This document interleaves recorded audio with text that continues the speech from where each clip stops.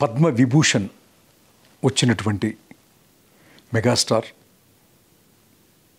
చిరంజీవి అన్నయ్యకి హృదయపూర్వక శుభాకాంక్షలు తెలియచేయటానికి ఈరోజు ఉదయం అన్నయ్యని కలవటం జరిగింది.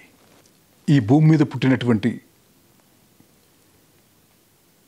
అందరూ అని చెప్పను కానీ కొంతమంది ఎప్పుడోకప్పుడు ఎక్కడో చోట చిన్న తప్పు చేస్తారు తప్పుగా మాట్లాడతారు అన్నది నగ్న సత్యం. దాదాపు నలభై ఐదు సంవత్సరాల వయసున్న నేనే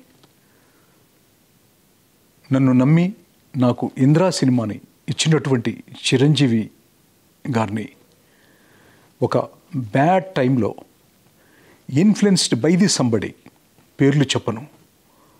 మాట్లాడటం వల్ల నా భార్య నా బిడ్డలు సమాజం నా చెల్లెలు నా బావ నా మిత్రులు అందరూ కూడా నన్ను భయంకరంగా తిట్టారు.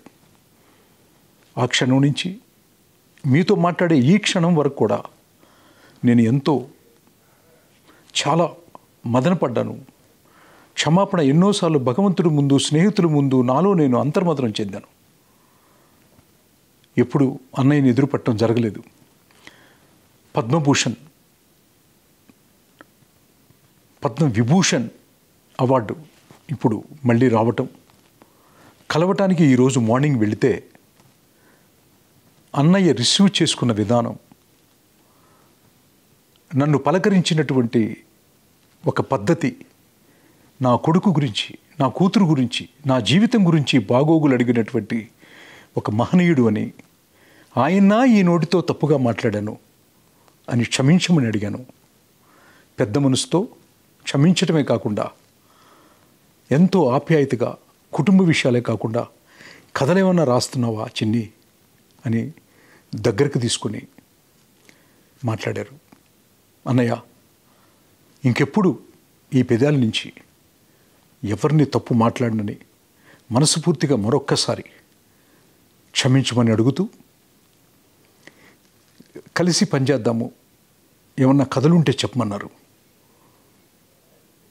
ఈసారి మీతో చేయబోయేది మీకు రాయబోయేది ఈ భారతదేశం గుర్తుపెట్టుకోవాలని మీకు ఇంకా ఎన్నో అవార్డులు భారత ప్రభుత్వం నుంచి మీరు తీసుకోవాలని మనస్ఫూర్తిగా కోరుకుంటున్నానన్నయ్య. వచ్చే జన్మంటూ ఉంటే మళ్ళీ మీ తోబుట్టుగా పుట్టాలని మనస్ఫూర్తిగా కోరుకుంటూ.